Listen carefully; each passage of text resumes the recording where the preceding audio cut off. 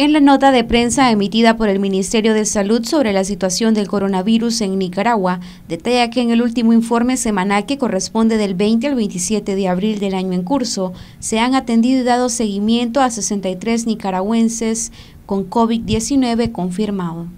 En esta semana ha habido un incremento de casos con respecto a las dos últimas semanas. De la misma forma, 41 personas de las que estaban en seguimiento responsable han cumplido con el periodo establecido.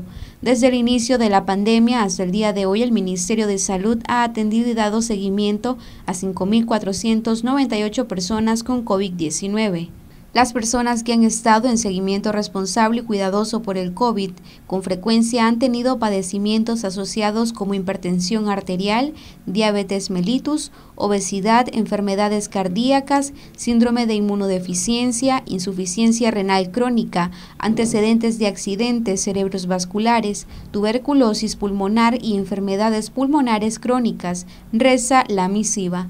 Con respecto a los fallecimientos, la nota de prensa afirma que en la presente semana hubo un fallecimiento atribuible al COVID-19 y se presentaron otros fallecimientos en personas que han estado en seguimiento debido a tromboembolismo pulmonar, diabetes mellitus, infarto agudo de miocardio, crisis hipertensivas y neumonías bacterianas, pero no detallan la cantidad de fallecidos.